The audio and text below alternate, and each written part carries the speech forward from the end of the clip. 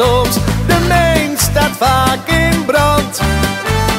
Ja, van VVA is bekend dat het daar vaak spant.